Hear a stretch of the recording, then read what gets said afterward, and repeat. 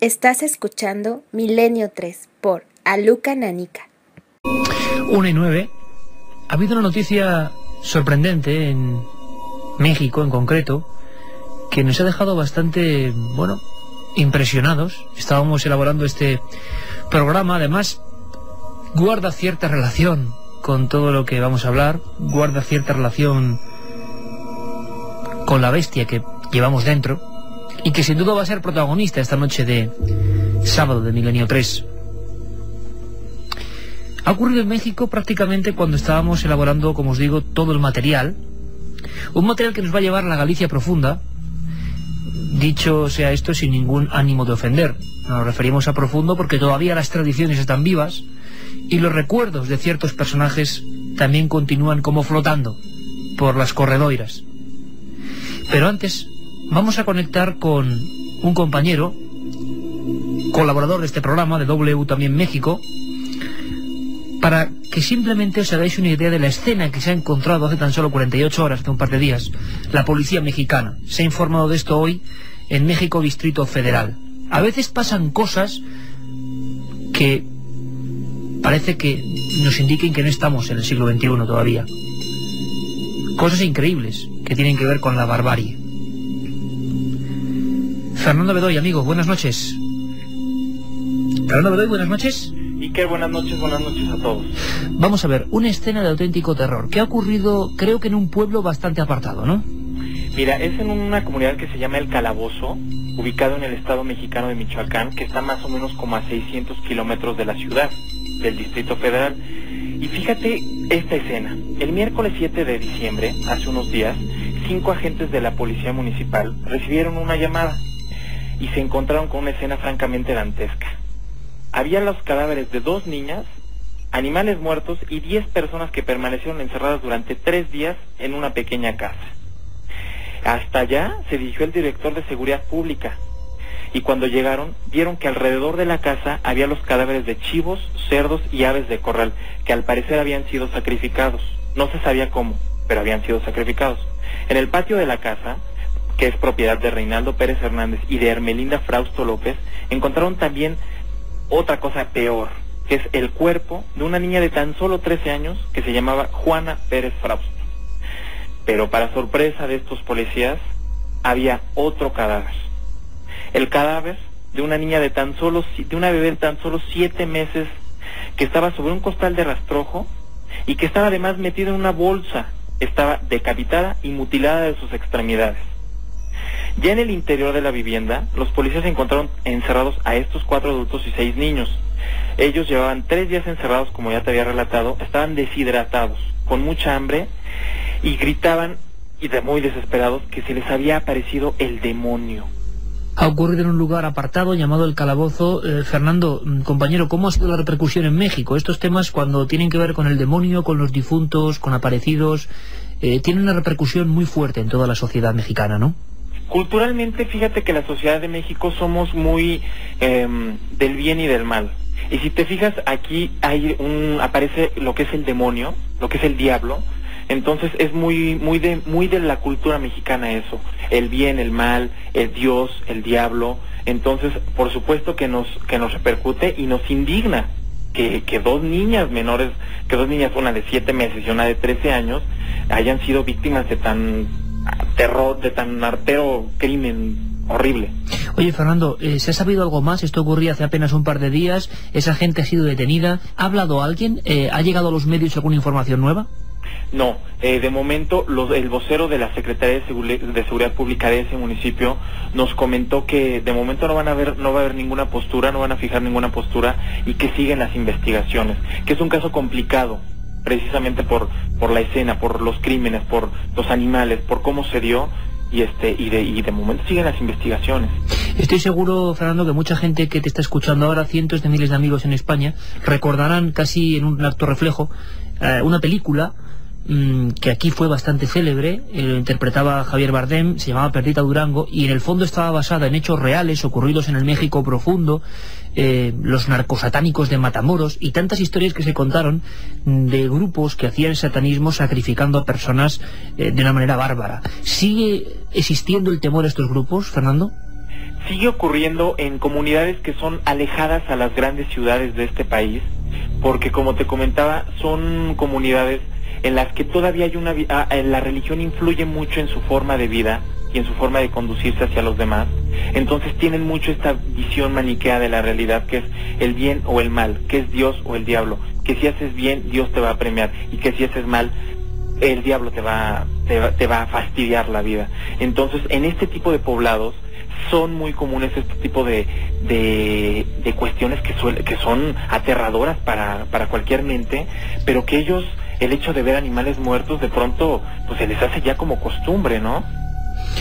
Realmente alucinante, en pleno siglo XXI, en ese México más apartado, un lugar llamado El Calabozo, nos lo cuenta nuestro compañero Fernando Abedoy, colaborador de W Radio. Fernando, si hay más noticias en la próxima semana, si logramos saber algo más de este misterio, de esta escena digna de película, siempre la realidad supera cualquier ficción, estamos en contacto, ¿te parece? Perfecto, Iker. Un abrazo muy fuerte, compañero. Iker, que estés muy bien, saludos a todos. Una y cuarto, esta música que nos pone el comandante de la nave del misterio, nuestro querido amigo Jerry Martínez, a veces, según cual sea el tema del cual vamos a hablar, parece un aullido, ¿eh? Vaya noticia la de México. Ahora explicaré por qué tengo en las manos aquí un libro muy poco conocido, asombroso, el libro de los hombres lobo, de Jardín Valle un tratado absolutamente genial del miedo que hubo en nuestro continente, en Europa, a esa criatura que todos consideramos, en buena lógica, producto de la ficción, pero ¿seguro que es sobre la ficción?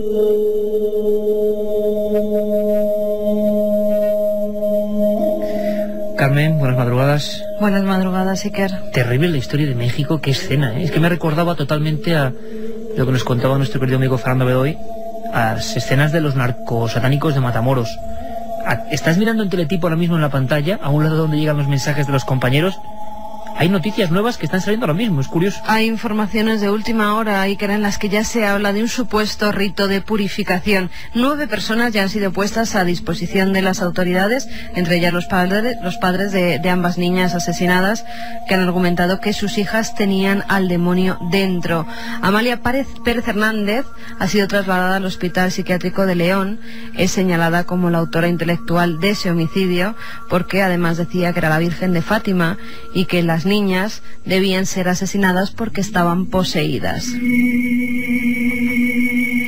Y estoy viendo ahora mismo en la pantalla eh, el lugar, unos montes bastante cerrados, una choza como de piedra, Vaya sitio. Pues precisamente por esa descripción que da Siker, Jorge Díaz de León, director del hospital, ha referido que el aislamiento, la miseria, la falta de alimento y el fanatismo llevaron a un caso de esquizofrenia colectiva donde en un momento de catarsis se cometió el homicidio.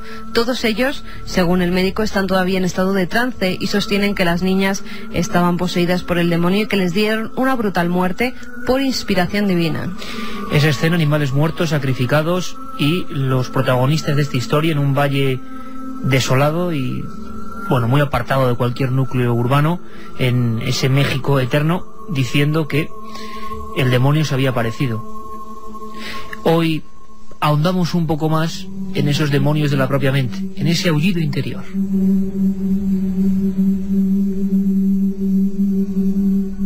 Y nos vamos a un sitio que en un tiempo pudo tener escenas tan parecidas como la de esa foto. Chozas de piedra, valles profundos, creencia también muy arraigada en las ánimas, y un personaje que se convirtió en una celebridad, imagino que muy a pesar de lo que hubieran querido los vecinos de Ayariz. Seguro que mucha gente ahora mismo, y sobre todo los amigos gallegos, en cuanto hemos dicho Ayariz, intuyen por dónde pueden ir los tiros. Seguro que se han acordado de un nombre, un nombre ya para la historia, un hombre llamado Manuel Blanco, Roma Santa.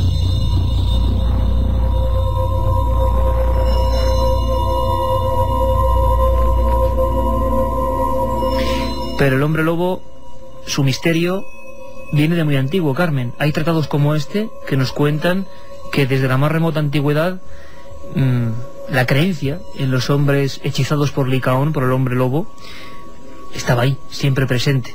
Que había algunas personas que eran capaces de entrar en una especie de esfera distinta del resto, fascinados por la luna algunos, otros se creían maldecidos, pensaban que al ser por ejemplo, el séptimo hijo, el noveno hijo, en otros lugares, pues tienen una especie de fada, de conjuro contra ellos. Pero quizá nunca un caso fue tan célebre como el que llegó a convertirse en legajos judiciales, en legajos rotundos y puros, muy lejos de la leyenda. Hemos hablado en Milenio 3 en alguna ocasión de la figura de Manuel Blanco Roma Santa. Algunos investigadores hablan del primer psico-killer, el primer individuo que mata despiadadamente en nuestro país de forma fría y sistemática.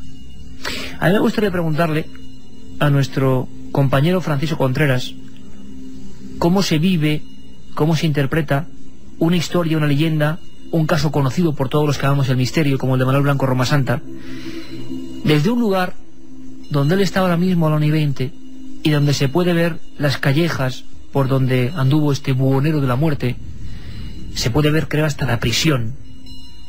Prisión de donde escapó de una forma que todavía, 150 años después, nadie se explica.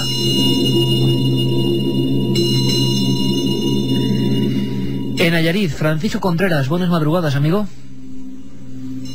Francisco. Vamos a ver si nos escuchan. Si no nos escuchan, volvemos a intentarlo. Puede pasar cualquier cosa. Francisco Contreras, buenas noches. Sí, pa- parece que hay unos, no son psicofonías, que nadie se equivoque. Tienen muy mala cobertura, Iker, ¿Iker, porque... oyes? Eh, Francisco, ¿nos escuchas? A ver, ¿me escucháis ahora? Ahora te oímos La gente- perfectamente. La gente va a pensar que esto está todo perfectamente programado para dar un poco de misterio, pero no, es así. No. Son las conexiones, ¿verdad, Fran? No, no, no es misterio. La verdad es que estamos en un lugar de difícil conexión porque estamos quizás en uno de los más bellos lugares de, de esa España mágica y, y profunda, de la Galicia profunda, mm, y Nayarit, territorio del hombre del saco, eh, lobisómene, sacamantecas, como aquí lo llamaban a Manuel Blanco Roma Santa, ¿no? Eh, quizás el término sería lobo de gente. Lobo de gente.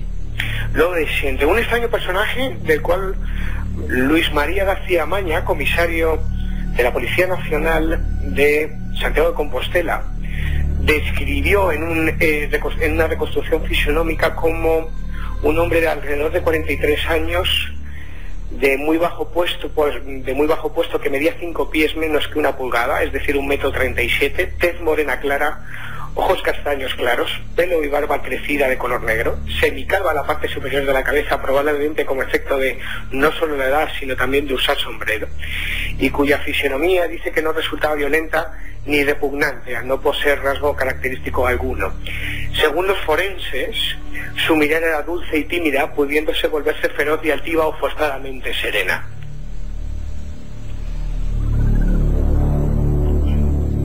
Francisco, eh, ¿todavía se recuerda la historia de Manuel Blanco Roma Santa por esos lares? Sobre todo hay una cosa que nos preguntan muchos amigos de Galicia desde ya, y es que, sobre todo, los vecinos de esa zona, de esa comarca, han oído hablar de un hombre que al final vamos a descubrir hoy cuánta gente mató, de qué manera lo hizo, si realmente era un hombre lobo o no, si se creía hechizado, pero hay una anécdota terrible con cómo fue su final. Mucha gente dice, sí, sí, Manuel Blanco Roma Santa.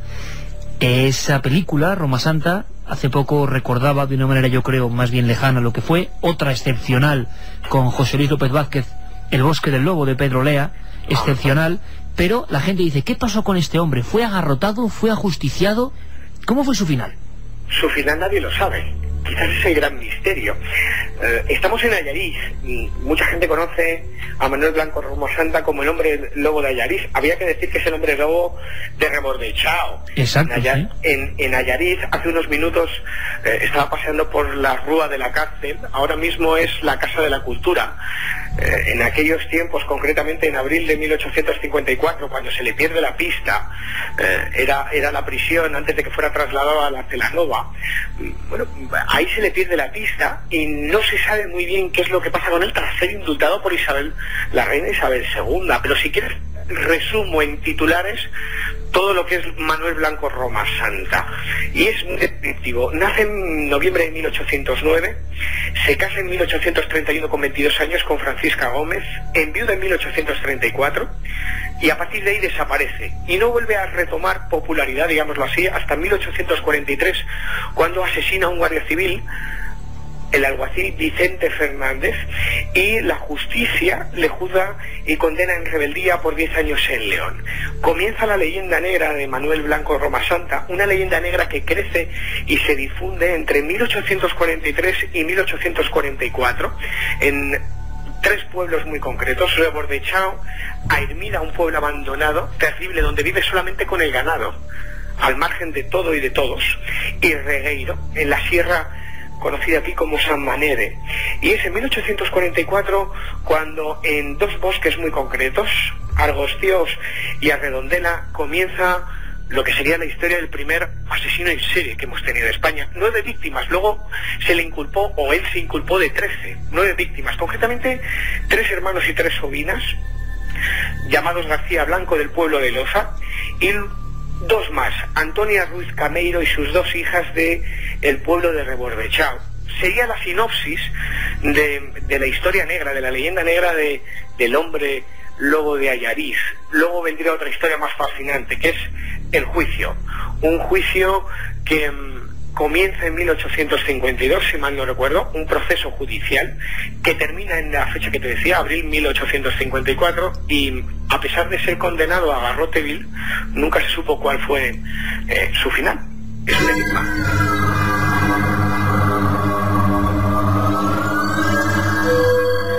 Un E26 y ese enigma todavía, bueno, sobrecoge o preocupa a mucha gente de esa eterna Galicia, sobre todo por las noches. Imagino también que en noches de invierno, cuando se recuerda, seguramente junto a la lumbre, en reuniones familiares, que precisamente allí el primer psico-killer conocido, estudiado por la ciencia, que motivó preocupación incluso en, en grandes hombres que estudiaban la mente humana, y que llegaron incluso hasta esa pequeña población para saber algo más el follón a nivel mediático que se montó en su época con el ajusticiamiento, lo que iba a ser el ajusticiamiento de este individuo, fue tremendo. Nos acompaña también, Carmen, un hombre que ha hecho un trabajo excepcional. Tú lo estuviste leyendo hace bien poquito y recuerdo que me decías, menudo trabajo sobre el hombre lobo, sin duda lo mejor que se ha publicado eh, sobre este individuo. Junto a Francisco Contreras está José Domínguez. Él escribió además un tratado, un libro que se llamaba Roma Santa, Memoria Cierta de una leyenda. Lo podemos encontrar también por internet, algunos fragmentos de esa magnífica investigación y creo que José Domínguez, que además es director de informativos de la cadena Serenorense, también nos está escuchando. Buenas noches, José. Hola, buenas noches. Oye, todavía es cierto que se habla, se recuerda. Imagino también que las películas modernas eh, ayudan a que no se olvide jamás la estampa, yo creo que un poco dramática de este hombre, ¿no? Sí, efectivamente, las películas modernas que eh, en algunos casos, más que reconstrucciones de los hechos, eh, son recreaciones más o menos noveladas o más o menos literarias, y que bueno, con las cuales se puede estar más o menos de acuerdo, porque después de todo son interpretaciones de directores y guionistas, cuando yo soy de la opinión o de la creencia de que la realidad eh, por sí, en sí misma, e incluso puede superar con creces a cualquier ficción, en el caso de, de Blanco Romasanda, ¿no? Nos suele pasar, José, a mí me pasa siempre que cuando ves una película basada en hechos reales que tiene que ver con un componente de misterio y de criminología, siempre cuando los directores de cine intentan, bueno, acoplarle las cosas típicas para que funcione en taquilla, acaban destrozando cualquier historia y cuando se aproxima uno a la verdad de los hechos, se encuentra con un misterio mucho mayor. Porque yo creo, y leyendo tus trabajos, que hay una figura que si no es la del hombre lobo, que es la que le dio fama a este caso, eh, apresado y culpado de, de licantropía, viene en alguno de los informes, es que había unas figuras tan misteriosas o más que ya vagaban por toda España y no solo por Galicia, buscando unto, buscando grasa. Los sacamantecas eran una absoluta realidad en diferentes porciones de este país hace no tanto tiempo, ¿verdad? Sí, sí, efectivamente. Eso eh, tuvo que ser, eh, lógicamente es una, es una hipótesis que se podría elevar a la categoría de teoría, pero tuvo que ser lo que a finales de 1851 acabó por hacer que este hombre en 1852 emigrara de Galicia y buscara refugio o cobertura en, territorio de Castilla, ¿no? Con un pasaporte falso. Era esa presión la que le hizo desaparecer, ¿no?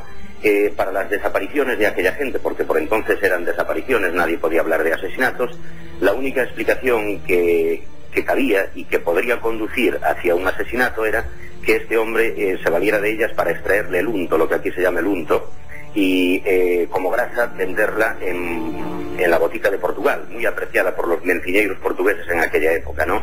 Incluso se decía que eso explicaría la muerte de personas jóvenes, ¿no? Porque entre las muertas había una niña de 12 años, eh, un joven de 20, etcétera, etcétera, un, eh, chaval de 9, 10 años, de entre 9 y 10 años.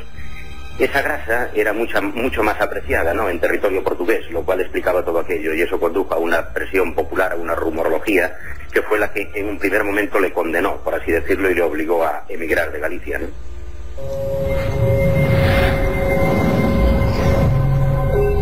Por lo tanto, ese comercio existía, así como tenemos casos como el de Enriqueta Martí Ripollés y tantos otros que comerciaban con la sangre, con lo que era el líquido rojizo, porque en determinadas formas y fórmulas y cataplasmas parecía que existía la creencia que hacían mejorar algunas enfermedades que eran una epidemia casi en aquella época, en aquella España de finales del 19, principios del 20. Por lo tanto, ese comercio pudo ser el culpable y no una especie de leyenda negra o de hechizo que este hombre dijo tener. Lo más sorprendente de este caso es que es el propio Manuel Blanco Roma Santa, cuando es apresado, el que confiesa que al ser el determinado hijo de una familia, ha nacido con la fada, ¿no? Es lo que dicen los documentos oficiales que existen de este caso. Sí, efectivamente, sí. Él recurre eh, a, eso, a eh, decir que era víctima de, una maldición, una maldición que exactamente habría comenzado en las fechas de San Pedro, esto es en el mes de junio eh, exactamente de 1839 y que eh, según él pues eh, habría finalizado hacia, hacia 1852, hacia no, mejor dicho, en junio exactamente de 1852. Entonces, esa fada o maleficio le habría aparecido exactamente con 30 años de edad y se habría prolongado durante 13 años y habría desaparecido a los 43 años, siempre según su relato. ¿no? En medio de todos esos años se dan las fechas de otoño de 1846 y de junio de 1851, un periodo de algo menos de cinco años en los cuales consumó eh, los nueve presuntos asesinatos, asesinatos según él, desapariciones. Invitamos a la 32 a todos los amigos a través del 7640 Palabra Milenio, ya sabéis como siempre, a que intenten, bueno, pues descubrir algo más de este personaje. Una de las leyendas reales que han ocurrido en nuestro país, la propia efigie, que siempre además se presenta, yo he visto dos o tres relatos robot muy diferentes unos de otros, que incluso en libros policiales comienza lo que es el serial de los asesinos múltiples en España. Siempre lo reconocen como el primero, el pionero en esta triste profesión nunca mejor dicho lo de profesión, él era buhonero, que ya de por sí tiene algo de romanticismo. Hay muchos buhoneros eh, que han sido importantes en el mundo del misterio. Nos estamos acordando ahora, por ejemplo, de la historia de las hermanas Fox y de aquel buhonero muerto, Charles Bryan Rosma, que da origen, ni más ni menos, dicen, cuentan, a esa tradición del espiritismo. Aquí en Galicia ese buhonero eh, se aprovechaba eh, de otra gente menos leída que él en el sentido de que él era casi como un conocedor de todas las pequeñas corredoiras y llevaba mucha gente eh, que iban a servir a otras provincias, a otros lugares más ricos. En el camino, esas personas que confiaban en Manuel Blanco desaparecían sin dejar ni rastro. Incluso, José, creo que era tal el cinismo, la frialdad de este hombre que leía cartas falsas o daba noticias de esos desaparecidos que habían ido con él durante trechos del camino cuando él sabía perfectamente que en mitad de la noche los había despedazado, ¿no? Sí, porque él era eh, sobre todo un hombre eh, muy listo, además de muy frío, era muy listo, y eh, muy preparado para la época, ¿no? Eh, es necesario retrotraerse a mitad del siglo XIX, estamos hablando de 1800 y pico hasta 1850. Era un hombre que disponía de una mulilla, eh, incluso llegó a disponer de un caballo, que es más que hoy en día tener un automóvil, y sobre todo disponía de la suficiente cultura como para saber escribir y leer ya era mucho un paisano que supiera hacer, por ejemplo, leer y no escribir. Él sabía escribir y leer.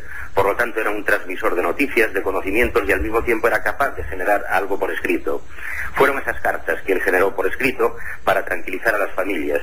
Eh, esto es una investigación que continúa abierta. Concretamente, hoy, eh, Roberto Bustillo, que es profesor de la Universidad de Derecho y de Urense, eh, hacía llegar una documentación en relación con la, la legislación existente en 1848 hay legislación muy curiosa, curiosísima, ¿no? En el sentido de que, por ejemplo, cualquier persona que se hiciera cargo de tal o cual persona, pero sobre todo si fuera menor de edad, se hacía cargo de custodia y tenía que ser responsable de que esa persona se encontrara bien, so pena de ser condenado a cadena perpetua. no a garrote, sino a cadena perpetua. Pero la cadena perpetua era algo tan duro como que se le obligaba a ir con grilletes, trabajos forzados duros e incluso eh, ser deportados a territorio africano, colonias españolas, Canarias y creo recordar también ultramar. Eh, eso también lo conocía él perfectamente. Toda, esa maraña de situaciones las conocía él perfectamente. O sea, quiero decir que él estaba en una posición muy superior a la de los paisanos, a la de esa gente los manejaba una serie de información y además, insisto, que era muy importante, era capaz de generar de generar escritos, de generar incluso noticias, de generar buenas nuevas en el sentido que más le conviniera.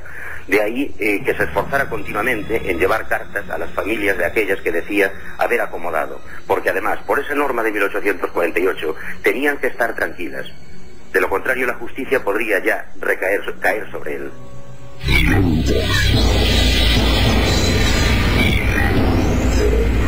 Cadena Ser.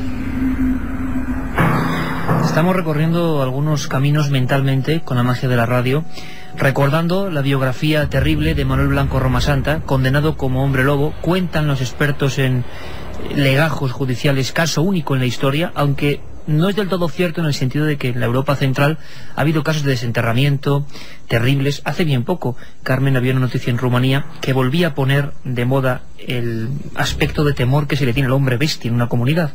Eh, tú hablabas, eh, lo dabas en cuarto milenio, la noticia de un hombre desenterrado en Rumanía, se le había comido el corazón, se le había comido parte de las manos, porque Sí, creían que salía de la tumba. Sus propios familiares, ante el temor de que ese hombre mayor que ya había sido enterrado hace un año se levantara por las noches, tomara la forma de un vampiro y les atacara, pues ante ese temor de esas visitas nocturnas, lo que hicieron fue desenterrar a su familiar, le sacaron el corazón, este lo trituraron, lo quemaron, lo hicieron cenizas y se lo comieron. Todo es una tradición en Rumanía porque la verdad es que todavía sigue estando ese miedo a los no muertos, porque al parecer se tiene la, la idea de que esos familiares que han muerto en determinadas circunstancias no muy aclaradas se pueden levantar para hacer mal a los suyos. Y esa creencia, transformada en los Cárpatos y en Europa Central en otras muchas criaturas, Burdalak, Brucolacos, Ti, Lutín, bueno, pues va pasando. Este caso es distinto. Allí también se habla de hom- hombres bestia, hombres hechizados, pero que no tienen por qué estar muertos. La tradición quizá por eso fue tan impactante con el asunto de Manuel Blanco Romasanta, porque eh, era un ser que estaba ahí, no era una leyenda, era un hombre que declaró en su juicio, era un hombre que aseguraba que incluso en esas noches de cacería, donde de repente se volvía loco, por cualquier circunstancia que ahora vamos a analizar, eh, despedazaba a sus víctimas y luego era consciente de la brutalidad que había cometido y cuando eh, pudimos tener acceso a esos documentos, eh, los amables responsables del Archivo Histórico del Reino de Galicia nos mandaron incluso copia de esa increíble sentencia, parece que este hombre atormentado lloraba incluso junto a los cuerpos de las víctimas pues comprobando cómo su otro yo, su demonio interno, se había convertido, había salido y había devorado. ¿Eso era así o era algo mucho más frío, como nos contaba José Domínguez, que era un tráfico absoluto de grasa, eh, de entretela humana para eh, venderla posteriormente. Ambos casos son igual de terribles. Tengo ese tratado que os comentaba antes sobre la licantropía, porque a fin de cuentas este caso es célebre por eso. Eh, condena a un hombre lobo en Galicia en el pasado siglo y, por ejemplo, sobre este hecho llamado licantropía, la maldición del rey Licaón convertido en lobo, no ha escrito pues un cualquiera. Escribió Herodoto, Virgilio, Ovidio, Plinio, Agripa, muchísimos sabios y escritores y cronistas de la antigüedad. Y casi todos empezaban diciendo o preguntándose qué era este extraño mal. Y decían, la licantropía es la transformación de un hombre o una mujer en lobo, bien por medios mágicos para permitirles disfrutar del sabor de la carne humana, bien por sentencia de los dioses para castigar un delito gravísimo. A la hora 39 vamos a ver qué dicen, vamos a escuchar, mejor dicho, qué dicen nuestros compañeros del 7640. Carmen. Francisco desde Hospitalet nos dice buenas noches milenarios. ¿Es verdad que Roma Santa podría haber tenido cómplices? Compañeros, Francisco, nos contestáis. Parece que hay una historia apasionante en esos legajos, en esa investigación maravillosa, terrible, claro, maravillosa para los que lo vemos antropológicamente. Pero cuenta Roma Santa, creo, y no creo equivocarme, que en algunas de esas fechorías, transformación, él creía que se transformaba en lobo por esa maldición, le acompañaban otros dos individuos que incluso en varias ocasiones coincidieron con él un tal don Genaro de Valencia. O sea, que había más licántropos en, la declaración de, de Manuel Blanco Roma Santa, Francisco. Bueno, eh, él dice que iba acompañado por dos, vamos a llamarlos entre comillas, sicarios, ¿no? Y, mm, que ellos dos también estaban malditos. Lo que sí que es verdad y es un enigma es que, mm, y eso es algo que podremos ver en cuarto milenio dentro de muy poco, es que no hay ninguna prueba de que ellos llegaran a cometer los asesinatos, con lo cual el enigma se retuerce aún más.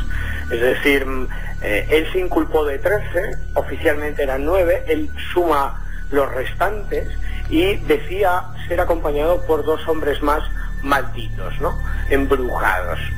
Ahí está el misterio. Hablamos también con José Domínguez y me gustaría preguntarle, me adelanto ese oyente que está bajando ahora mismo en la pantalla 7640. José, ¿cómo se encontraron los cuerpos? Hay una leyenda sobre si realmente había dentelladas de lobos y, y la expectación de los forenses o eh, miembros de la investigación cuando llegan a donde Manuel Blanco Roma Santa dice, he matado aquí, aquí y aquí. Y hay gente que dice, ¿es que había mordeduras posteriores de lobos normales y corrientes o es que él se ve transformado en una bestia? Bueno, eh, cuando, cuando hablas de, del hallazgo de cadáveres me parece que estás eh, pensando subliminalmente en alguna película, ¿no? Que es donde eh, es que para nada se encontraron no solo cadáveres, sino restos. Se halló únicamente, se dio por bueno únicamente el que se denomina el hueso innominado de una mujer. O sea que el resto no había aparición de trozos de cadáveres ni de personas concretas donde él dijo, no, no aparecieron nunca. Para nada, y estamos hablando de una investigación, vamos a ver, eh, déjame recurrir un poco a los datos. El inicio de la causa fue el 22 de agosto de 1852, en el juzgado de Ayariz, ¿no? Y estamos hablando de casos, el último caso se produjo en junio de 1851, hablaríamos de un año y julio y agosto dos meses, ¿no? Bueno, es un periodo de tiempo suficientemente, creo yo, corto como, para por lo menos hallar algo, ¿no? Y hablamos de un periodo de tiempo pues relativamente corto en el, en el resto de los casos para no encontrarse siquiera ningún hueso. Claro. Nada, realmente nada. Lo que hoy sería una, lo que hoy, repito e insisto, sería eh, suficiente base para construir una defensa. La no aparición de lo que se denomina cuerpo de delito, ¿no? Que no entonces exactamente, cuidado. Eh, estamos hablando de una legislación de mediados del siglo XIX, no es exactamente esta. Para entonces, porque he invocado aquel, aquella legislación de 1848 tan dura y tan severa en el sentido de que tú tendrías que ser custodia y dar buena cuenta de que las personas que hayan, que se hallan a tu recaudo gozan de buena salud y están en excelente disposición, ¿entiendes? Eh, aquello era mucho más duro. No era necesario simplemente para tener una sentencia condenatoria el hallazgo de un cuerpo. En eso se basó la justicia para condenarlo. O sea que tenemos en realidad un racimo de desaparecidos totales, Exacto, exacto. de los cuales sí que se hace culpable este, hom- este hombre, digamos, eh, atormentado quizá por, por, por el juicio o por qué. Claro, eh, claro, eh, pero además, espera, dime tú, él dice 13, la justicia dice no queremos cuatro más, solo queremos nueve. Porque él podía haber dicho, bueno, y entonces, ¿por qué me habéis eh, eh, mm, juzgado en rebeldía y condenado en rebeldía por la muerte del alguacil de León, que serían entonces 14? Y ese tampoco ahora lo tenéis en cuenta. Qué curioso. La verdad es que esto es, es un puzzle digno, no nos extraña, eh, y, y qué pena que muchas veces las recreaciones literarias o artísticas o cinematográficas no se hayan metido en esas otras cuestiones, ¿no? Y la hayan dejado más, más de lado. Vamos a ver qué preguntan más los oyentes, Carmen. Pues una, un amigo nos dice hola desde Maceda, a 26 kilómetros de Ayariz. Aquí se dice que Roma Santa nació y actuó en Esgos, muy cerca de aquí, que tiene descendencia. ¿Sabéis si eso es cierto? Madre mía, la descendencia de Roma Santa, ya sería tremendo. Bueno, nos ha escrito también un amigo que dice, a ver si lo encuentro, que su suegra lleva el apellido Roma Santa. Buenas, la familia de mi suegra es de ahí y sus antepasados se apellidan Roma Santa. Siempre nos metemos con ella por si se transforma en lobisome, nos dice Vanes. Estudio al lobo desde hace años. El hombre le teme y admira. De ahí el odio, acoso y mitos como este, nos dice María desde Cuellar. Hola Iker, en Palas del Rey, en Lugo, se cuenta la historia de un lobisome bueno que acabó con una plaga de lobos. Curioso, ¿verdad? Eso es lo que nos decía un amigo y nos decía que lo leyéramos, que es un dato bastante curioso. Y también desde Asturias, que se destaca el caso de Ana María García La Lobera. Era La de. Llanes y fue juzgada por la Inquisición en 1648 a causa de creerse lobo. Nos lo decía Ara. Francisco Contreras y José Domínguez, allí en Ayariz, en el lugar donde todo esto ocurrió, esta trama asombrosa, cuando menos. Francisco, incluso casos de supuestos niños salvajes, ya ampliando el abanico, también hubo en Jaén hace no tanto tiempo, ¿verdad? El niño lobo de Jaén, no adelantes temas para esa temporada. El auténtico ni- niño lobo que convivió con los animales.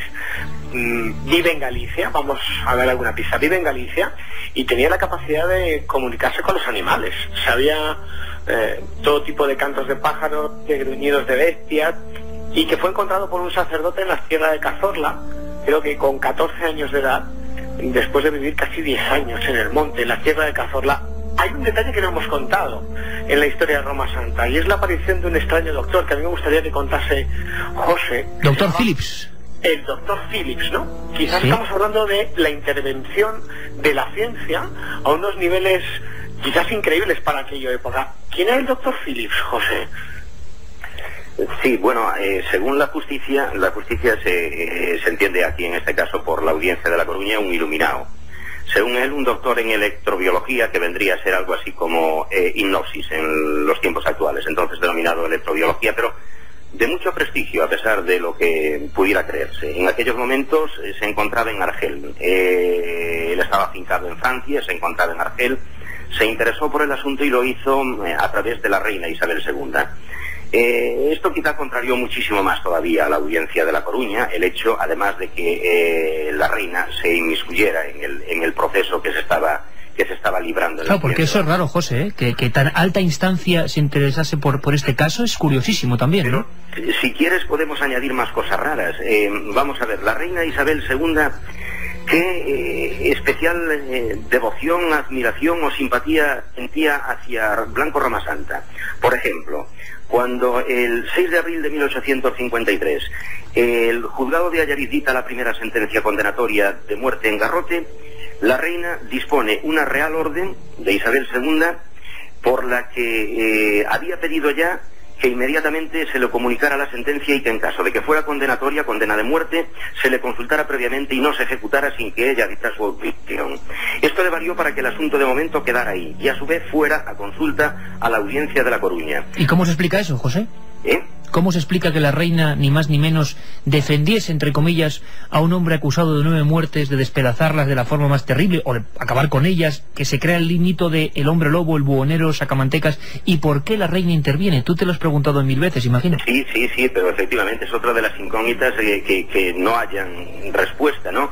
Y después, posteriormente, cuando se produce primero una sentencia de la Audiencia de La Coruña que revoca la de Ayariz y suprime la eh, pena de muerte, y posteriormente, porque presenta el Ministerio Fiscal recurso de súplica, se produce otra sentencia de la Audiencia de La Coruña que lo vuelve a condenar a pena de muerte, vuelve a entrar otra vez eh, el indulto de la reina Isabel II de 13 de mayo de 1854 disponiendo que se indulte y se conmute la pena por la inmediata inferior y se quede simplemente en cadena eh, en cadena perpetua, ¿no?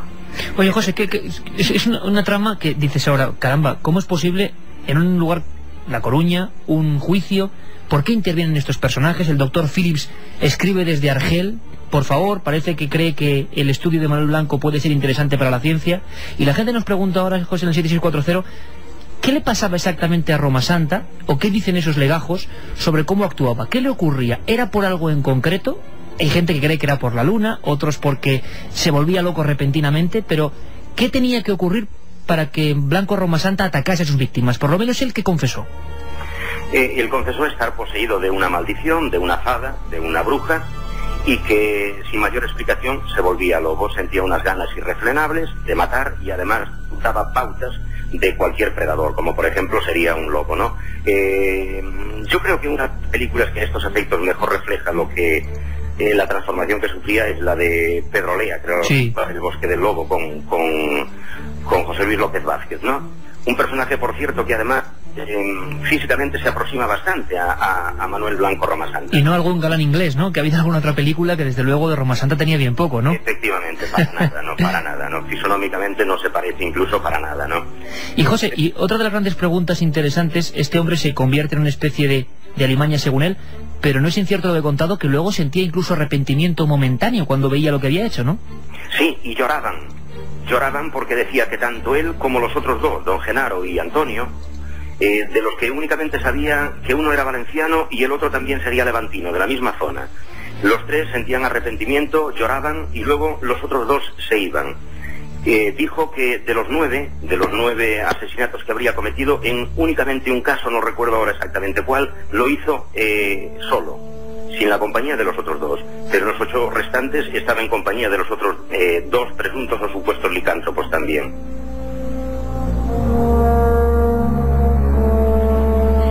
Y no son casos únicos, sí a su manera. El de Manuel Blanco, desde luego, supera toda la expectativa porque ahí están los trabajos oficiales, los documentos, repito, que se custodian todavía en el archivo histórico del Reino de Galicia, pero en otros puntos de Europa hubo supuestos, siempre, por supuesto, hombres lobo, que generaron un miedo sin precedentes. Aquí tenemos en este libro de los hombres lobo algunos de los tratados facsímiles de mm, formas de eludir a los hombres lobo, em, incluso en salmos, para alejarse de ellos. Es decir, en los siglos XV, XVI, XVII esto es una realidad creída profundamente por los hombres del campo. Hubo algunos casos interesantes, Carmen.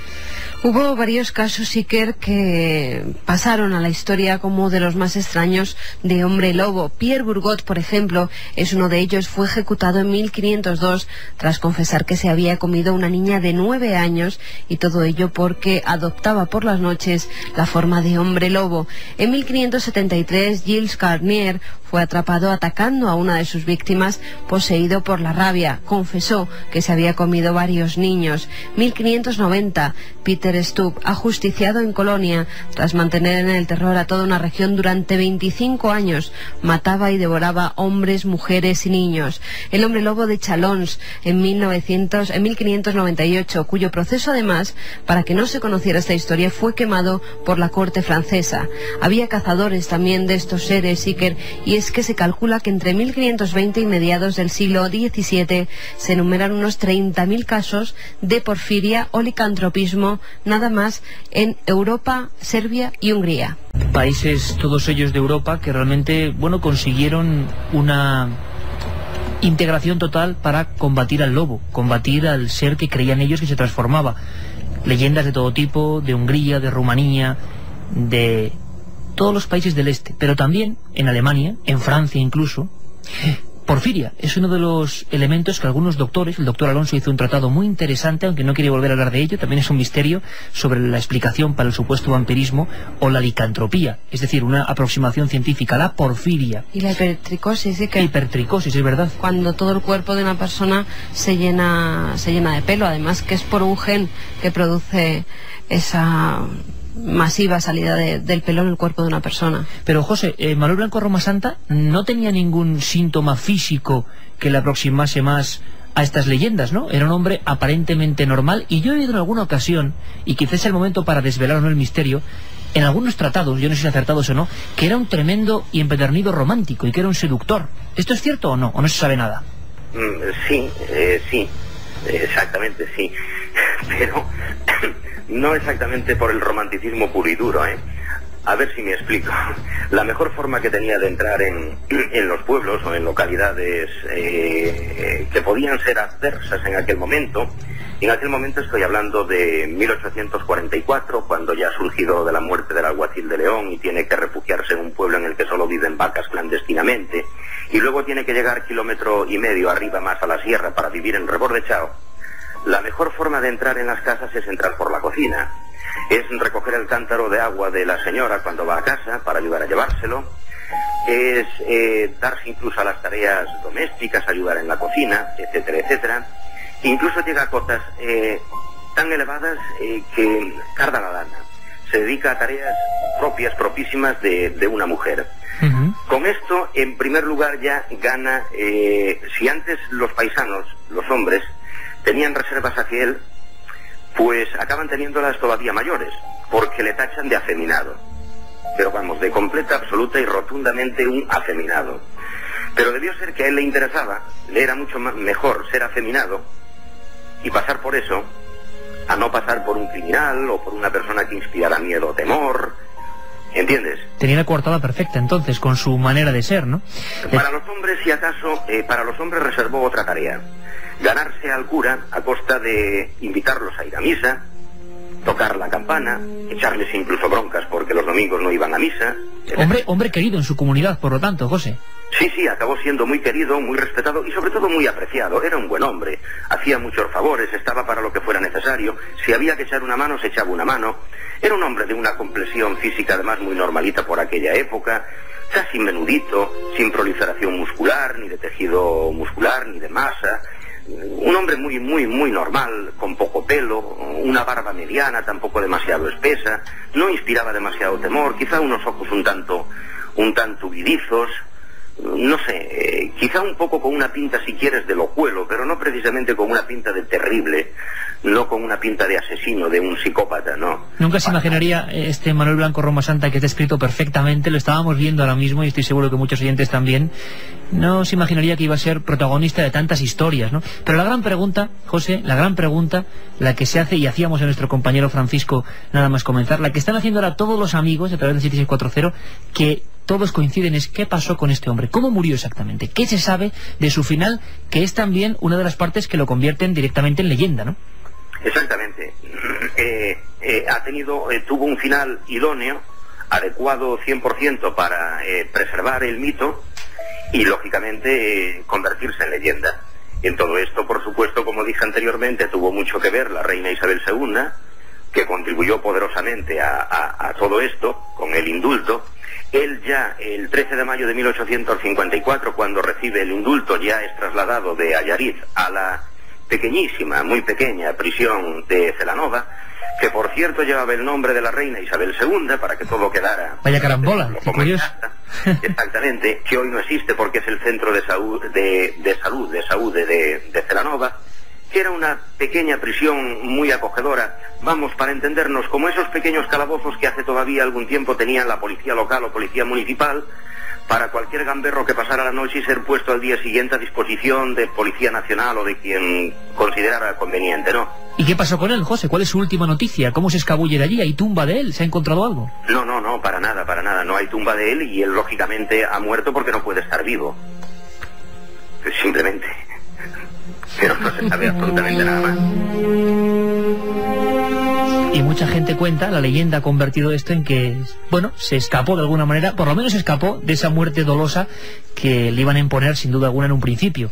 La muerte por garrote, que era lo que se estilaba en aquel tiempo. Por cierto, Francisco, eh, imagino que te has puesto ya esas capas tenebrosas y te habrás abierto paso con el candil en mano por esos bosques, donde todavía imagino que pensar en esta historia, pues es intrigante, ¿no?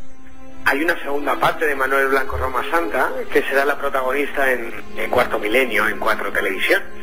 Hace unos meses, lo que son las carambolas de la vida, hacíamos el diario de un peregrino. Decía cuando pasaba por Samos, ese monasterio donde estuvo el padre Feijó, que por las corredoiras, mm, me parecía resonar el chirriar de un carromato y un hombre con una capa marrón y sombrero que me decía, soy Manuel Blanco Roma Santa, sube a mi carromato. Hoy lo vamos a hacer realidad. En cuanto acabemos esta conexión, un grupo de locos periodistas en busca del misterio se van a ir a un pueblo abandonado que se llama Hermeira, donde Manuel Blanco Roma Santa convivió solamente con el ganado para intentar descubrir si queda algo, no de él, en cuerpo, sino en espíritu.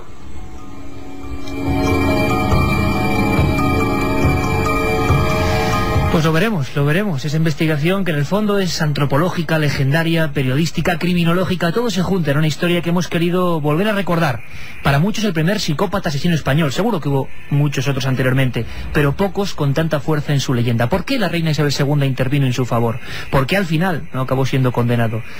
¿Reposan sus restos en algún sitio? ¿Realmente se transformaba? ¿Creía en lo que hacía? ¿O era un simple mm, sacamantecas facineroso empeñado en ganar dinero a costa de la grasa de los demás?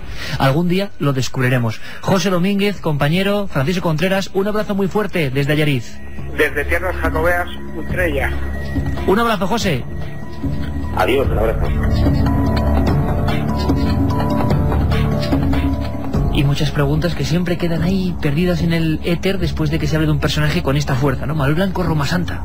Hace siglos, en el siglo XVII, creo, a la corte francesa fue llevado un hombre guanche que tenía hipertricosis y el rey creyó que todos los guanches eran así, nos decía Luis. En los años 50, en la lengua adreita, en Lugo, apareció un hombre totalmente despellejado misteriosamente. Un saludo desde Las Palmas. Chema nos dice, hola, soy de Alaurín el Grande y conozco a un hombre que se crió con lobos en Sierra Morena. El hombre lobo de Alaurín. Salió también en televisión. Vivo en Shinzo, a 10 kilómetros de Ayariz, aunque soy de un pueblo de Raya, donde existe la leyenda de Reina Loba, Loba, asesinada tras ser atemorizada a la zona durante años. Luego seguimos con un montón de cosas y también con animales extraños. Volvemos ahora. 2 y 7, ya estamos aquí de nuevo. Por cierto, nuestra nave del misterio, espero que no desaparezca como pasó con el Triángulo de las Bermudas. Y es que pasó precisamente hace 60 años. Se ha cumplido un curioso y, bueno, extraño aniversario, Carmen. La verdad es que sí, que el 5 de diciembre de 1945, cinco aviones militares con 14 tripulantes despegaron desde la ciudad de Fort Lauderdale, en Estados Unidos. Allí se perdieron en el Atlántico cerca del estado de Florida, dando origen a una de las leyendas más populares del siglo XX, la del Triángulo de las Bermudas.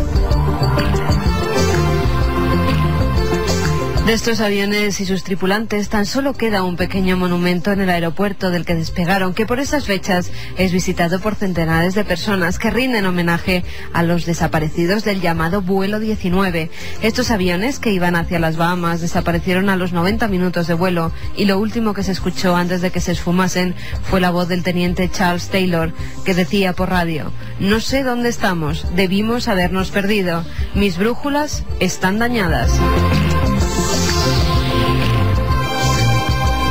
Se supone que el avión de Taylor y el resto de su patrulla volaron sin orientación hasta que se estrellaron en el mar en el sur de la península de Florida, pero el misterio de su desaparición se acrecentó ese mismo día cuando un avión de rescate con 13 tripulantes se estrelló sin dejar rastro en la misma zona. Años después, la desaparición de otros aviones y barcos en la zona a los que no se encontraba una explicación llevó a los investigadores a que se hablara de un triángulo misterioso entre Fort Lauderdale, Puerto Rico y las Islas Bermudas. Además, salieron a relucir todo tipo de hipótesis, desde puertas interdimensionales, campos electromagnéticos y hasta la influencia del continente perdido de la Atlántida. Cierto que este es un tema que nos preguntan por él, bueno, muchísimos oyentes de Milenio 3 a través de las vías de contacto con este programa y estoy pensando que pueden venir buenas fechas para intentar meternos en un asunto del que se exageró mucho, por cierto, pero que sí que constituyó uno de los grandes mitos y es el ejemplo de cómo algunos temas suben como ocurre ahora, por ejemplo, con todo lo que sea el hermetismo cristiano, eh, lo que sean las sociedades secretas, Código da Vinci, masones, está en plena moda. ¿Ovnis? ¿Qué pasa con los ovnis? Casi todos se han olvidado de ellos, menos algunos locos como nosotros. Pero el ejemplo del Triángulo de las Bermudas es mortal. Final de los 70, año 75, libro de Charles Berlitz. Bueno, tres, cuatro años de máxima expectación, libro de Alejandro Viñati y tantos otros, y de repente nada, el olvido absoluto. Da la sensación que es un tema devorado por su propio misterio.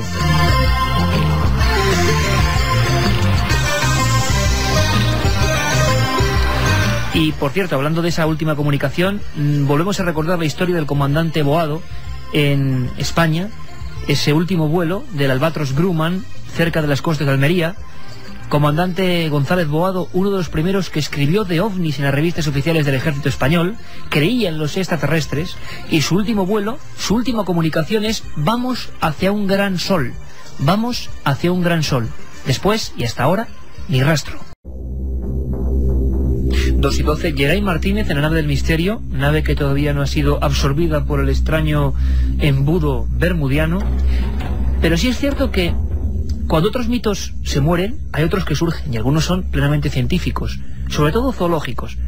Hablábamos de Manuel Blanco Roma Santa, de la bestia, y de un animal, yo creo que no tan amenazador, aunque algunas fotos son bastante impresionantes, ha sido descubierto. La naturaleza sigue dándonos sorpresas constantemente. En pleno 2005 hay muchos especialistas en, en el mundo de la naturaleza que piensan que solamente se descubrirán especies muy pequeñitas, que ya nada puede ser sorpresivo, excepto, excepto en el mar. El mar sigue siendo más desconocido que el espacio, con eso queda dicho todo. Pero ha habido un último hallazgo, pues muy sorprendente, Carmen. Esta semana ha sido localizado y fotografiado en el Parque Natural de Cayán Mentarang una nueva especie de mamífero. Se trata de un animal del tamaño de un gato común. Tiene el pelo rojizo y una cola larga y musculosa. Para contarnos más sobre esta nueva especie, tenemos a Fernando González Siches de Explora Films.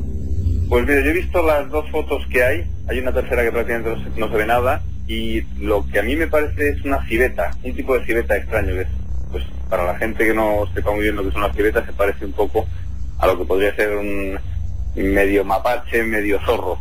Lo que pasa es que todavía no se sabe, están poniéndoles trampas ahora mismo para capturarlas vivos en, la zona de la selva del Parque Nacional donde se ha encontrado en Calimantán. Y lo que ha- se ve en la fotografía es sorprendente porque se le ve por la noche con el flashazo de las trampas fotográficas que le pusieron y el animal, claro, debe tener una, una, una visión nocturna y unos ojos adaptados a la visión nocturna, entonces refleja muchísima luz y auténticamente parece un, un espectro de la selva, porque tiene, ya te digo, la, la luz que le reflejan los ojos, pero a mí me da la sensación de que va a ser al final un tipo de civeta que ya ha pasado en estas mismas selvas, que han aparecido varias de distintas especies, incluso hay una que es la civeta nutria, un animal muy extraño, que se creía que era una nutria más grande, pero que capaz de trepar, de cazar, de, de hacer eh, cosas muy extrañas para ser una nutria que solamente se ha visto una vez.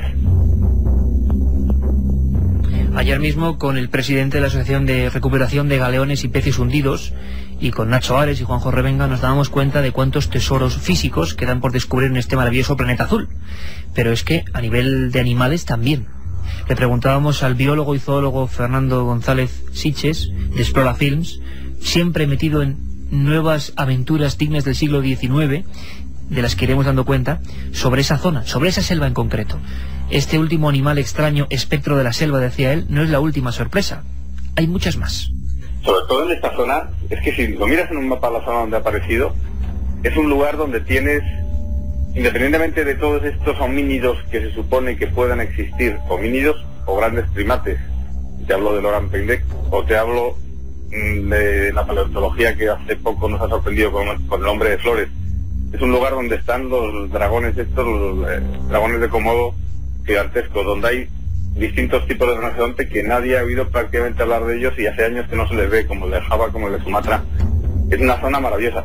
Y eso en esta zona, porque como bien sabes, luego animales no solamente pequeñitos como este, esta nueva civeta, o lo que sea, que ya nos dirán lo que es en pocos meses, sino grandes primates como este mono de Bondo, mono de Billy, que salió hace dos años y que recuerdo que la primera noticia que tuve me la diste tú además, que se pusieron unas trampas fotográficas en el Congo y apareció que es un animal del tamaño de un gorila, pero más emparentado con un, chimpancé. O sea, nos quedan muchas sorpresas por, por recibir por parte de la naturaleza y no todas pequeñas y animales insignificantes como piensa la gente. O sea, queda muchísimo, muchísimo por descubrir en superficie y debajo del agua sabes que eso ya es un mundo entero por descubrir, un mundo aparte.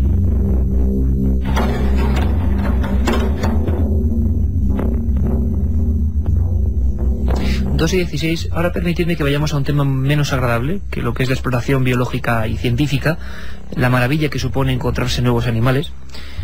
Ha ocurrido a lo largo de los últimos siglos que cuando había especies que creíamos bueno, desaparecidas por completo, de repente, como en una especie de esfera al margen de lo cotidiano y científico, han aparecido.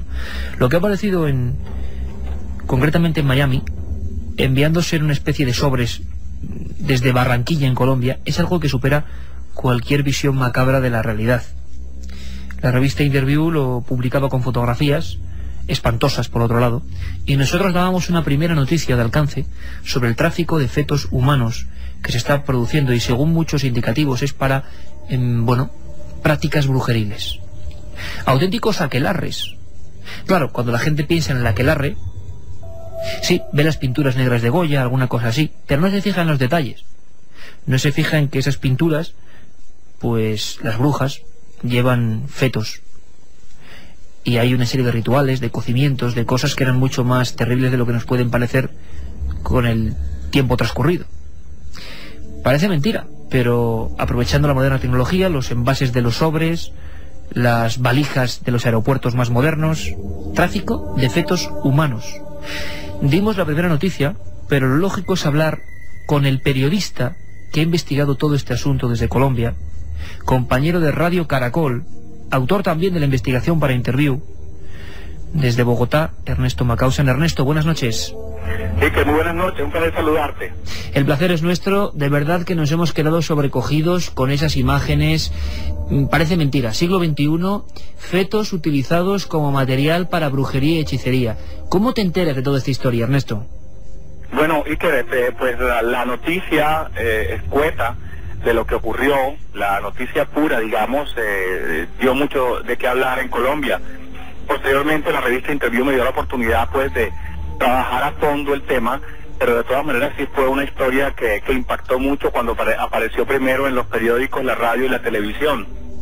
Y poco a poco vas indagando y ¿qué te encuentras? Me imagino que una trama que, aunque seas un periodista ya absolutamente avezado y curtido en estas lides, uno tiene que verse impresionado cuando sigue una noticia de este tipo y se va confirmando que ese material eran fetos humanos eh, precisamente utilizados para vaya usted a saber qué rituales, ¿no? Imagino que tú mismo estarías impresionado con lo que ibas descubriendo. Claro, y que sobre todo que el primer paso que yo di fue hablar con el agente de policía José Argelino Ortega Rosso, quien fue el que descubrió. Pues imagínate eh, lo que habrá sido la vivencia y el momento para ese policía que cree que está a punto de descubrir un cargamento eh, menor de droga porque se da cuenta que en unas em, figuras eh, de porcelana de unos eh, perros eh, se da cuenta de que una de las paticas de los perros está rota y hay una bolsa de papel plástico o una bolsa plástica transparente que se asoma por allí y él eh, utilizando su fuero como policía rompe la bolsa se da cuenta pues y se abre. Cuando se da cuenta de que abre la abre la rompe la porcelana y abre la bolsa se da cuenta que lo que hay es un feto y luego descubre otros dos.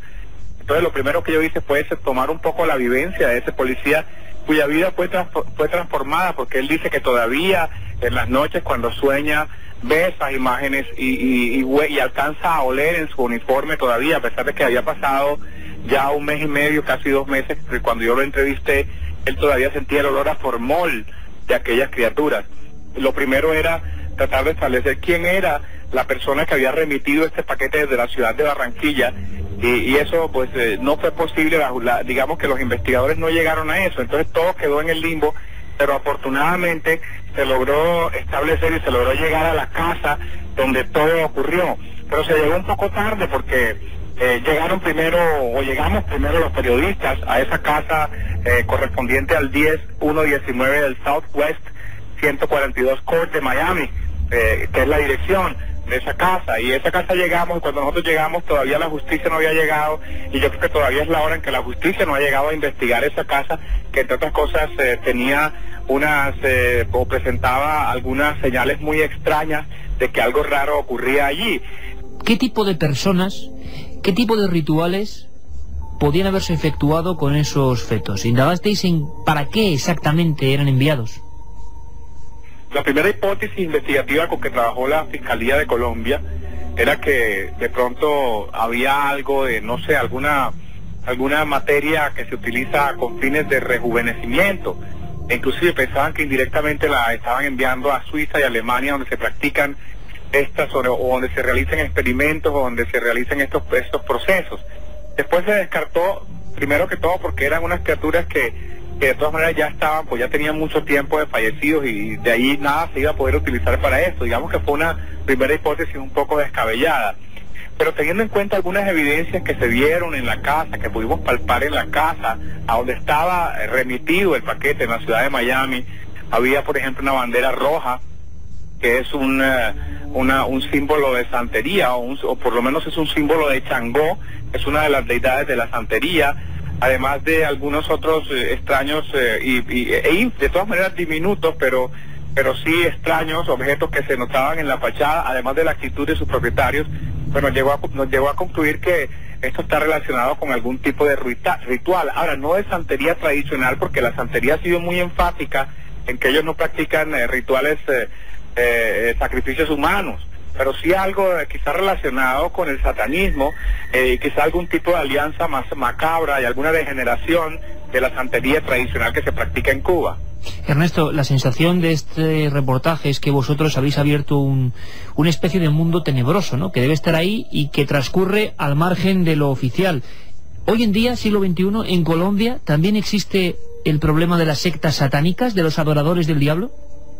Sí, sí, tene- tenemos ese problema, tenemos ese problema, Iker. Ahora, y a veces me parece que se especula mucho al tema, pero de- es un hecho. Yo he hecho reportajes, por ejemplo, eh, sobre uno, un escuadrón antisatánico que opera acá, que es una especie de paramilicia del antisatanismo, que se dedican a perseguirse eh, eh, elementos satánicos en los cementerios, por ejemplo, les hacen la cacería por la noche y se forman unas verdaderas guerras en la noche en los cementerios, en algunos cementerios.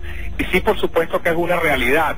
Ahora, a mí me preocupó mucho el tema de los fetos y el satanismo y todo esto, pero me parece que todo eso es inocuo en torno a una realidad, realidad que a mí me parece mucho más dramática, es una realidad periodística que es el manejo ligero que se da con, con, con la vida misma no solo es un tema sensacionalista o que tenga que ver con lo diabólico, sino que representa un problema de magnitud mucho mayor, ¿no? ¿Cómo ha sido el, impacto, nos comentabas antes, el impacto en tu país, Ernesto, a raíz de, esta investigación? ¿Cómo lo ha tomado el pueblo? ¿Cómo lo ha vivido? Eh, bueno, pues nosotros hemos hecho, eh, por supuesto que hemos hecho mucho énfasis en que hay estas prácticas y que hay que tener mucho cuidado, no solamente, digamos, con eh, este tipo de prácticas que tienen que ver con fetos y con seres neonatos, o perdón, seres prenatales, sino también con todos. indiscutiblemente hay un problema con el sanatismo y de gente que se quiere aprovechar de la realidad dramática que vivimos en nuestro país y las circunstancias de pobreza para ejecutar estos rituales eh, tan lamentables y esto es una realidad. Felicitamos a nuestro compañero Ernesto Macausan desde Colombia. Fenomenal trabajo, compañero. Nos has dejado muy impactados, pero la realidad es así. Un abrazo muy fuerte desde España. Un abrazo para ustedes y que es un eh, placer muy grande estar en Milenio 3. Vamos con mensajes que nos llegan a esa vía de contacto 7640, palabra clave milenio y como siempre lo que queráis. Rafa desde Ceuta nos dice que ha visto las fotos de ese mamífero que se ha encontrado nuevo y que parece un lemur a su punto de vista. Hola chicos, recuerdo que yo me enganché a Milenio hace tres años cuando hablasteis del calamar gigante. ¿Era el Kraken? ¿Habéis sabido algo de aquello? Nos pregunta David desde Elda. Pues que va a haber una nueva expedición. Era, era Fernando, uno de los capitanes de ese barco investigador en el que nos subimos y pudimos con el micro acercarnos al máximo hasta tocar el Kraken. Lo que pasa es que no pudimos filmarlo vivo. Vimos cómo lo capturaban a unos 7 metros y el misterio sigue ahí, en algún sitio de las costas españolas, cerca de Carrandi, en la fosa, por algún motivo que se nos escapa y que se está intentando investigar, hay una gran cantidad de peces avisales de gran tamaño y de krakens, ese mito que decían que Julio Verne se había inventado y que surge de vez en cuando. Veremos si se descubre esta incógnita. Vamos con más animales extraños. Mariló desde Canarias nos dice, hemos visto en algunas noches a un pájaro de una envergadura de unos 4 o 5 metros y unos 2 metros de largo, de color negro. ¿Habrá hombres pájaro? ¿Dónde esto? En Canarias debe ser. Qué curioso porque hubo una serie de noticias, una de ellas en el año 1995, si no me equivoco, en la población de Alcobendas, bien cerquita de Madrid, de algunas personas que denunciaron el vuelo de una especie de murciélago, pero de un tamaño tremendo. Ya hemos visto con especialistas en zoología que puede haber murciélagos, aunque muy pesados, muy torpes, que pueden llegar hasta medir un metro, puestos, o sea, como un niño. Eh, y claro, el susto puede ser tremendo, pero volando a gran altura es imposible. También recordamos perfectamente algunas visiones mm, de no hombres pájaro. En las Cornualles, el caso del Mothman, eh, que recordamos hace bien poco, sí que ha habido. Y sobre todo, en el año 1987, muy cerca de la montaña de Montserrat, se publicó y se dijo que varios montañistas habían visto una figura horrorosa de aspecto, muy grande, y que bueno, como siempre, salió una fotografía, pero nada más. Un libro de Miguel Aracil lo publicó. Lo que sucede en el Triángulo es que la gran emanación de gases en el fondo del mar produce el hundimiento de barcos. Lo vio en un documental, nos dice Juan desde Torremolinos. Mati, que le gustaría que habláramos de Kaspar Hauser. Bueno, hace bien poco hablamos de Kaspar Hauser porque el argumento estaba claro. Ese pianista misterioso que al final no hemos sabido si era truco, si no era truco, si era un enloquecido, que, bueno, puso de moda hablar de personajes que aparecen repentinamente, como Rudolf Fendt, ese hombre atropellado supuestamente en Nueva York, año 1950, gabán largo, gorro oscuro, se le atropella, parece, dicen los personajes que están en el paso de cebra, que ese hombre se ha tirado encima de los coches, que ha querido suicidarse, y cuando empieza la investigación se encuentra una tarjeta que dice Rudolf Fenz. Cuando van a investigar, acaban descubriendo que Rudolf Fenz fue un hombre desaparecido muchos años antes y que estaba en algún listado de desaparecidos. Investigaciones más modernas, como la del compañero Chris Aubach, eh, aseguran que esto en realidad es un mito, una especie de leyenda urbana surgida eh, tiempo A en algunas revistas del norte de Europa. Bueno, ahí está el tema, apasionante sin duda alguna. Kaspar Hauser, hay una película que precisamente Televisión Española creo que puso hace poco, El enigma de Kaspar Hauser, de Herzog, de hace unos 25 años, y se hablaba de este muchacho que llegó a, bueno, protagonizar portadas de la prensa de su época y de ahora también, con el hombre del piano. Un niño aparecido repentinamente, que simplemente aparece con una tarjeta que dice cuide de mi hijo, y que muchas personas, embozadas en negros ropajes, quieren matar en diferentes circunstancias, como si ese niño fuera hijo de un gran secreto. Él, cuando va aprendiendo a hablar, cuando varias personas que le recogen le hacen hablar, dice que solo recuerda un túnel, una jícara, una especie de jarra de agua y un pan que alguien le dejaba. Con esa comida estuvo durante años, eh, clausurado en una especie de agujero negro. Y cuando sale, de repente en una calle, pues simplemente una ciudad que él no conoce. En Nuremberg se hacen ciertas investigaciones y al final, en esa misma calle, alguien, parece mentira, ¿eh? con una especie de antifaz y con una capa, mata a Kaspar Hauser. Su tumba, dice Kaspar Hauser, su vida un enigma, su muerte un misterio. Los comentaristas de Milenio 3 que a través del 7640 nos informan que en el cementerio viejo de Sabadell al parecer se hacen rituales satánicos. Investigando os llevaréis una sorpresa. Hay varios cementerios en España ¿eh? donde Mm. parece que hay profanaciones de tumbas. Es un tema bastante Es macabro. que desde hace unos meses, y no me canso de repetirlo, se están produciendo un montón de temas relacionados con el demonio, tanto exorcismos como rituales extraños, como presuntas posesiones demoníacas, como asesinatos en nombre del demonio. Hablando de rituales raros, había una noticia de México recientísima hace unos minutos, sorprendente. La verdad es que sí, que un leñador ha hallado un altar que incluye una calavera colgada en un terreno que está lleno de maleza y que está ubicado en Zetmar. El leñador se llama Epitemio Laimes de Ara. Al parecer encontró una calavera colgada que tiene pelo, tiene un velo blanco y una flor negra en la frente colgada. La gente dice que por allí va gente muy extraña, hay personajes que entran como con capas, que se escuchan gritos y que no saben qué es lo que se realiza dentro de una especie de cabaña, que es donde además también se ha encontrado una osamenta vestida de negro y sujetada con cadenas al suelo. Amigos que también nos hablan de la licantropía, de las enfermedades que se pueden producir que alguien se crea hombre lobo. Existe una enfermedad neurológica, síndrome de lupus, da violencia y crece el pelo. Hay casos en España. Síndrome de lupus. Ah, nunca lo había oído. Tato desde Canarias que nos dice buenas noches Iker, mi abuelo era un inmigrante gallego y se apellidaba Blanco y nació en 1900. ¿Podría haber algo en él? Hombre, creemos que no, ¿no? Mucha carambola fatídica sería esa. Otro amigo que nos dice, tengo un amigo que le gusta la sangre y la carne crudas, incluso llega a chupar heridas y tiene mucho pelo. Espero no tener nada que temer, no es broma. Hombre, que le guste, como he dicho, la carne cruda y la sangre. Sí, chupar heridas. Hombre, pues una afición un poco extraña. Algunos a, los especialistas perros, a los perros sí que les Sí. gusta chupar las heridillas, algo de... hablaban de hematodixia, ¿no? Y aquel reportaje que comentábamos, que nos lo comentaba Ángel Briongos, de unas hileras, una cola de mujeres enlutadas que iban al antiguo matadero de Madrid de las Ventas y mm, cogían las tazas de loza, de porcelana, y esperaban a que se sacrificase el toro, y entonces, o la vaca, del matadero caía la sangre caliente y a veces según caía caliente tenían que tomárselo porque la creencia era que la sangre de toro y de vaca curaba. Madre mía, son historias que desde luego han acabado siendo eso, una reliquia arqueológica casi, pero ocurrió y las fotos de prensa que publicó Estampa en su día de esto son terribles. Fíjate el, el tremendo mensaje que nos envía José desde Burgos por la noticia que nos da. Hace un mes aparecieron degolladas cinco chicas en Lima, Perú, en su octavo mes de gestación. Las habían extraído el feto.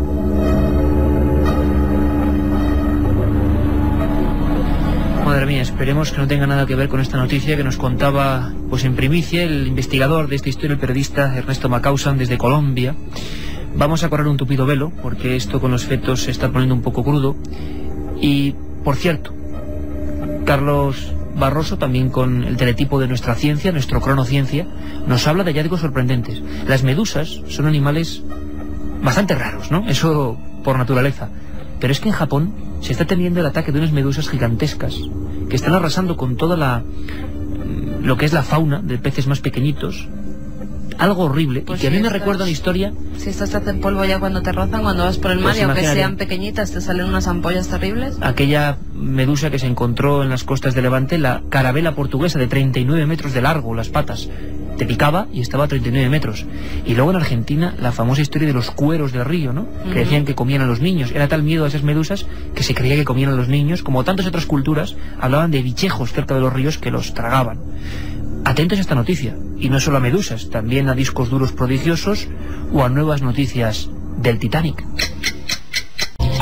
Japón ha visto esta semana cómo una plaga de medusas gigantes invadía sus costas. Medían cerca de dos metros y aún no se sabe de dónde proceden. Lo peor de todo es que se reproducen con gran rapidez y se multiplican por cientos, con lo que están acabando con las especies marinas más pequeñas de las que viven los pescadores del mar de Japón, como la anchoa o el salmón.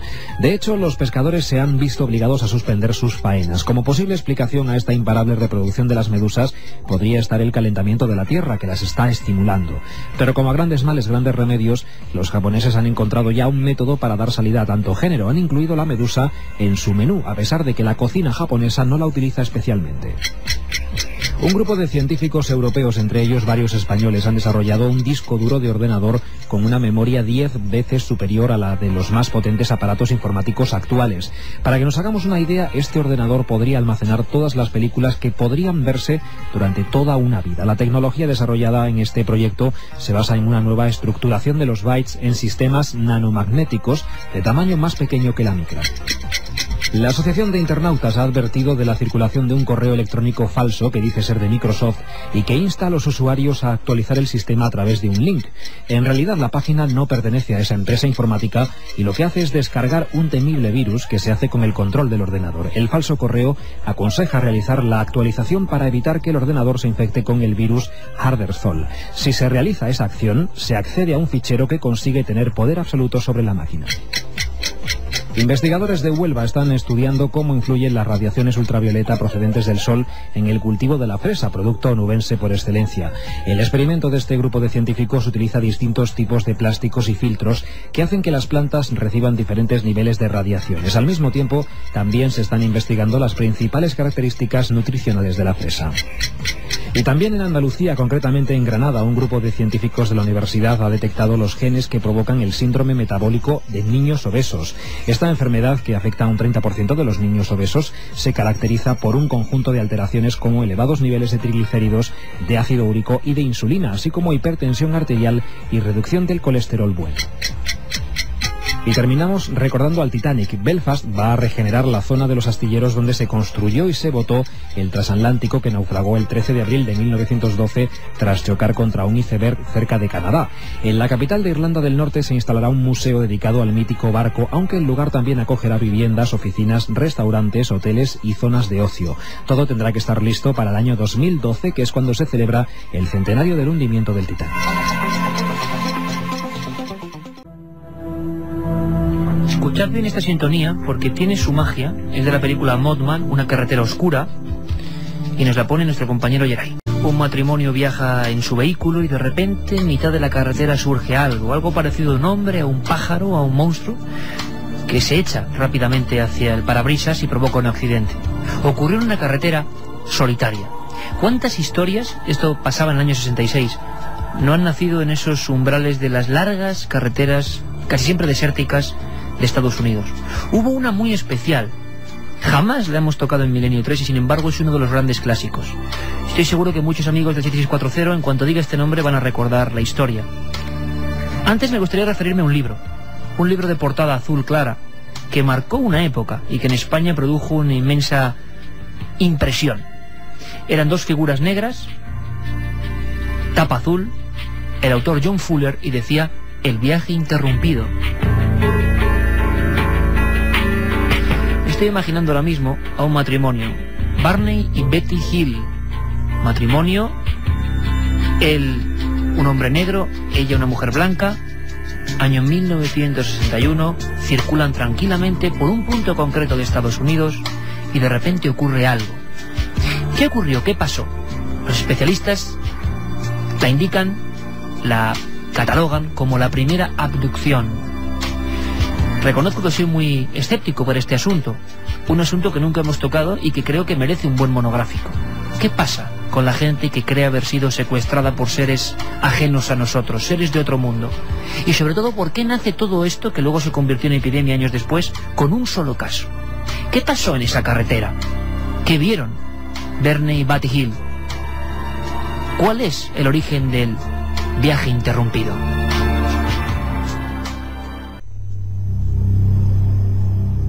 Todo comenzó una agradable noche de septiembre del año 1961. El matrimonio formado por Barney y Betty Hill vivió una experiencia que marcaría sus vidas para siempre.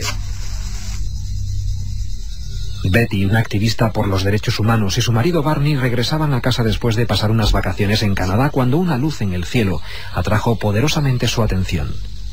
Ya era de madrugada cuando cruzaron las montañas de New Hampshire. En un primer momento pensaron que se trataba de una estrella, pero la luz empezó a seguir su vehículo.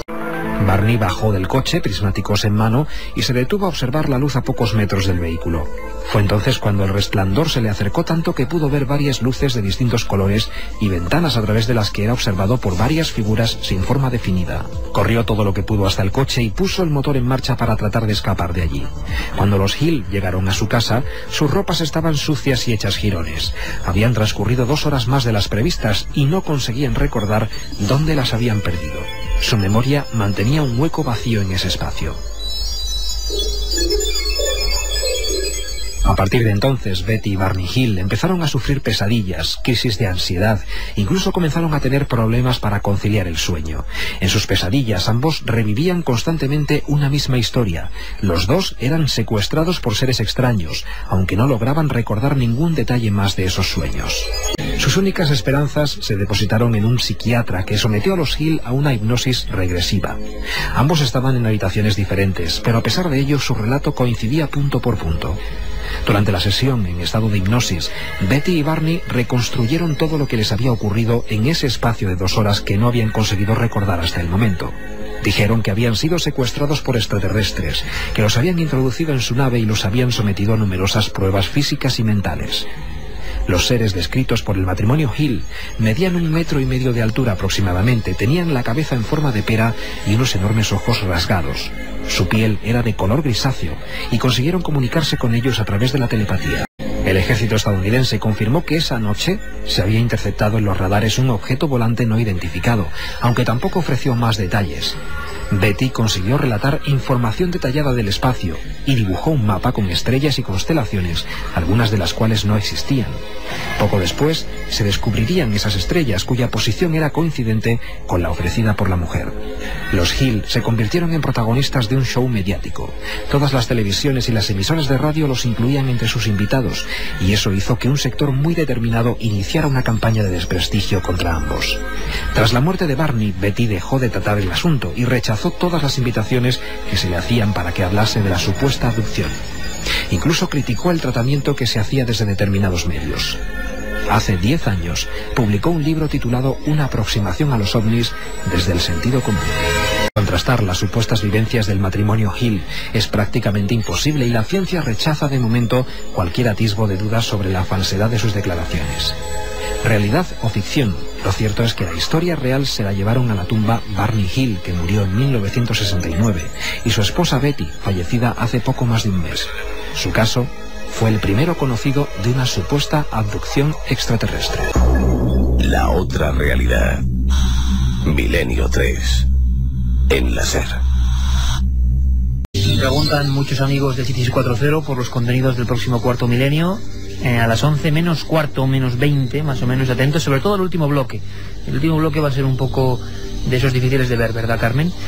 Por cierto, muchos amigos también dicen monográfico de abducciones ya. Se me ocurre la historia no solo de qué pasó con Bernie Matty Hill, sino el caso de Dionisio Yanca en Bahía Blanca, en Argentina, el caso Pascagoula, la historia de Bedouro en Brasil, la historia de Antonio Vilas Boas, ese hombre que supuestamente copuló con una mujer de otros mundos, historias que se contaron en su día, tantas y tantas, como no, aquel francés misterioso desaparecido siete días, Frank Fontaine, eh, los grandes clásicos.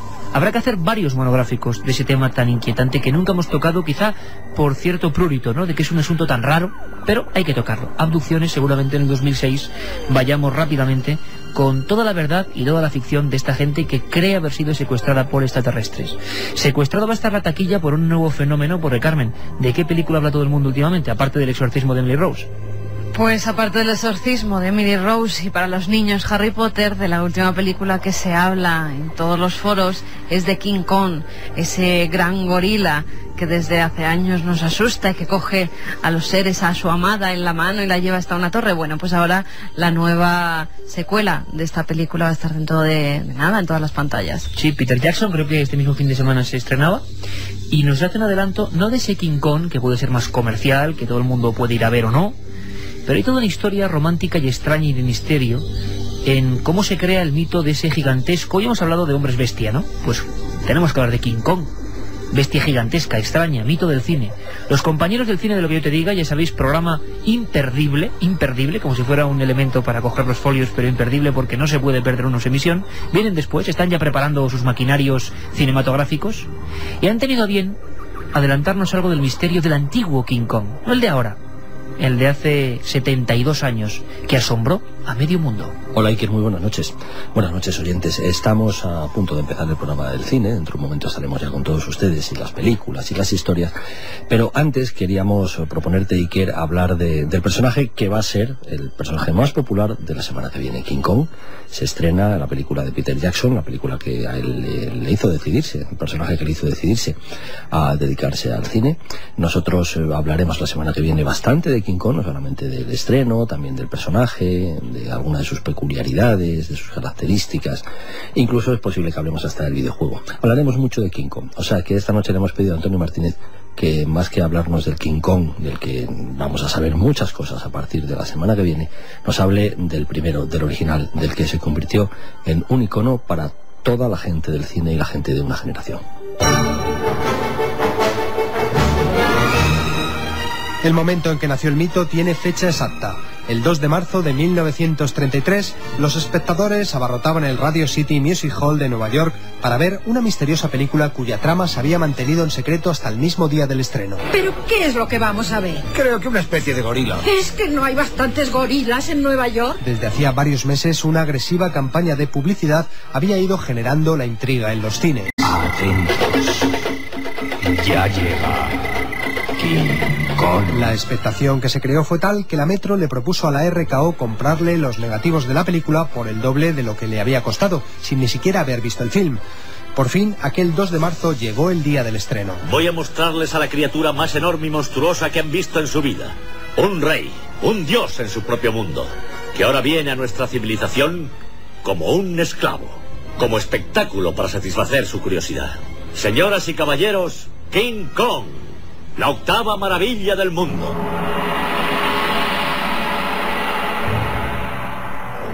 Los padres de la criatura eran Merian Cooper y Ernest Susak, dos aventureros que se habían convertido en directores de documentales. Usted es el que hace esas películas de la selva. Exacto. Sin embargo, esta vez su nueva película no iba a ser un simple film de aventuras exóticas, iba a contar la historia de una pasión. Las paso moradas para hacer una buena película. Y luego los críticos y los exhibidores dicen, si esta película tuviera una pincelada amorosa, los beneficios serían dobles. Pues muy bien, esta vez la tendrán. Esta vez van a tener una mujer. Sí, porque King Kong no es más que una nueva recreación del mito de la Bella y la Bestia. Los directores encontraron en la actriz Fire Ray a la Julieta de este particular romance. Su habilidad para chillar aterrada influyó mucho en la decisión, ya que necesitaban un rostro hermoso que, llegado el momento, pudiera expresar convincentemente el miedo y conmocionar al público con sus gritos. Acción.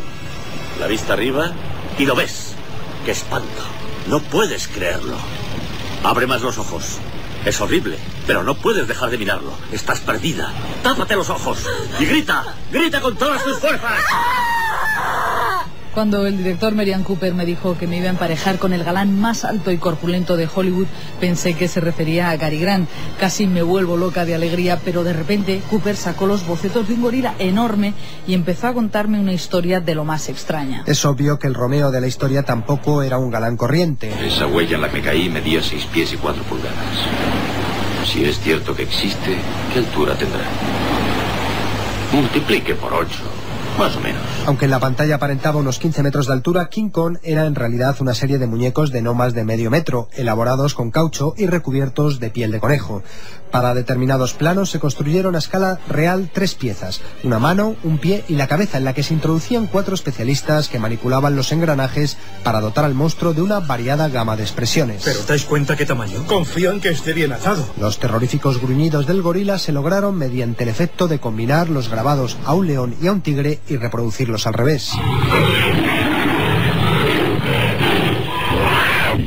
King Kong contenía una serie de innovaciones que la iba a convertir en punto de referencia para el cine fantástico de los años siguientes.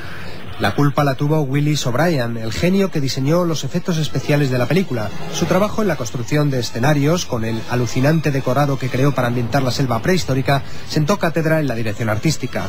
Fue también el primero en utilizar las llamadas transparencias, una película que se proyectaba como fondo y que solventó de ahí en adelante las dificultades de situar la acción en escenarios difíciles o peligrosos. Weston piensa hacer la mejor película del mundo, algo superior a cuanto se ha visto hasta ahora.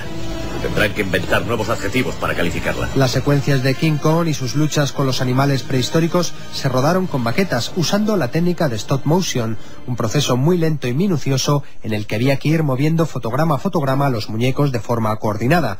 El propio O'Brien se encargaba de fotografiar las imágenes. Ahora voy a hacer otra toma con filtro. El resultado fue una película que mezclaba a partes iguales el terror, la aventura y el romanticismo.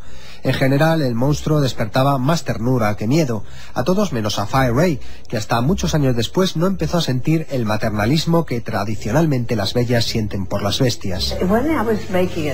Sí, cuando estaba haciendo la película tenía mucho miedo. Bueno, no es que sintiera miedo realmente, pero él era la representación de un monstruo. Con el paso del tiempo vi que la gente terminaba por sentir simpatía hacia él y yo empecé también a tener ese mismo sentimiento.